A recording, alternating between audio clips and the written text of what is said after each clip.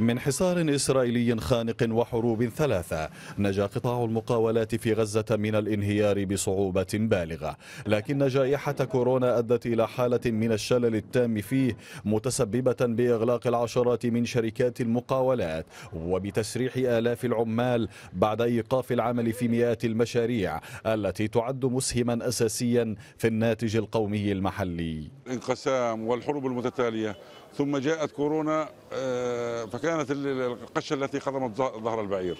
الكورونا أوقف جميع الأعمال المقاولين الكورونا أوقف جميع التحويلات جميع الفعاليات اللي كانت عند المقاولين. جميعنا تأثرنا تأثرنا في في التطوير في الاستثمار تأثرنا في تأثرنا بشكل سلبي في جميع مناحي الحياة.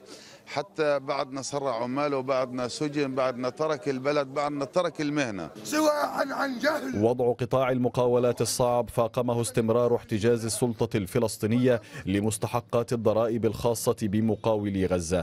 منذ 12 عاما والبالغة قرابة 50 مليون دولار. احتجاز يصفه اتحاد المقاولين بالتمييز المتعمد والذي قد يقضي على هذا القطاع بنحو كامل. أكثر من 70 شركة مقاولات خرجت من السوق في العام 2019 ونحن في العام 2020 واضح أنه هذا الأمر ربما يتضاعف وربما نصل إلى إغلاق مؤسسة اتحاد المقاولين بشكل كامل.